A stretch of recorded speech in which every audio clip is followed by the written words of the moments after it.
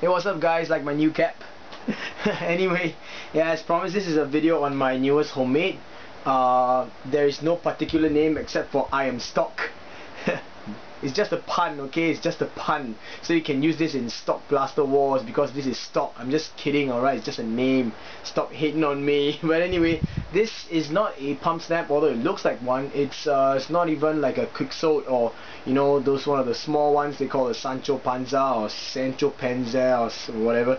But this is based on an R3 design. Um, credits to SG for the R3 design. But by definition, this should be called the Ring Catch Blaster RCB, uh, in which because inside the catch catch mech is actually made up of a ring catch and um, it works almost the same way as it would for an R3 and um, yeah I'm using all Singaporean um, parts uh, PVC pipes tubes and fittings and uh, the cool thing is none of it um, is the same as um, an R3. None of it is what you would use to make an R3. Totally different.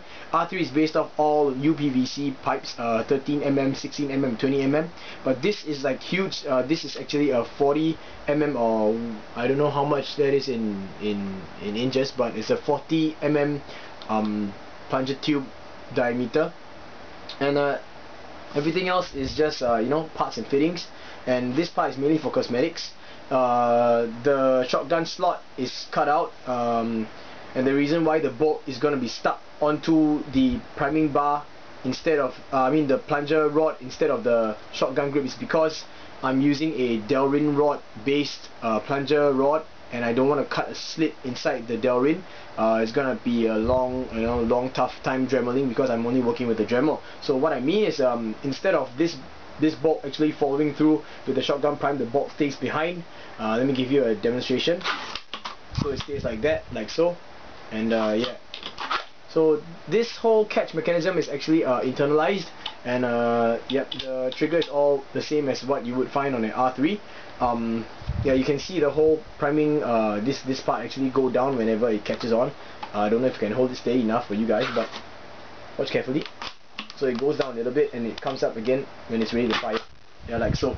So anyway uh, this orange part over here this is from a firefly. I cut out the priming bar of the firefly and I sanded it down shaved it down and then I attached it on.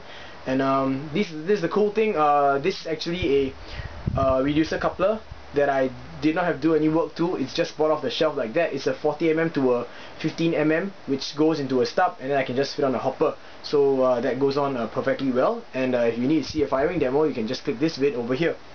Alright so um anyway everything on is uh, everything here is machine screw on so uh, it's really very sturdy. And uh, this gives me a little space for me to act a cheek rest like that when I'm firing.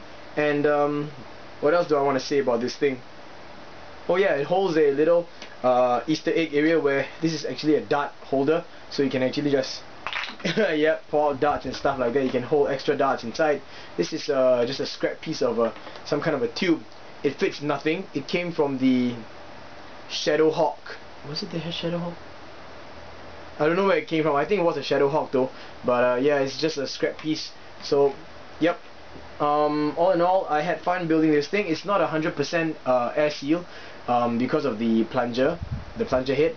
But uh, in it houses a K26 thanks for the info Atani. A K a full length K26 spring uh, followed by um, two uh, recon stock springs in a row. And uh, it's not I don't know it's not like at complete rest state. It's a little bit compressed as it is now. And um, it's about a 6 inch or 6 and a half inch draw. And um, yeah so it's not full compression. So yeah uh, things is firing pretty well. Um, hits about 80 feet. I'm just doing an estimation because uh, I don't really have the time to go and do a proper firing demo. Uh, I mean a proper range test but I have done a firing demo. You guys can check it out. So uh, yeah. The reason why this thing looks so white and looks so so clean is because I took the time to actually sand down every single pipe that I was working with. So I had to cut it first and then sand it down slowly. So the whole thing's like it looks very evenly colored like uh, you know sometimes when you buy pipes uh, from the shops they kind of have like black marks or like uh, scratch lines or like dust and shit. So yeah. Anyway um yep that's that's about it. Uh, it's very comfortable for me. It's made to my length. Uh, I mean my length. It's made it's made to my preference. So yeah I'm just holding it like that. And uh, yep not much of a problem.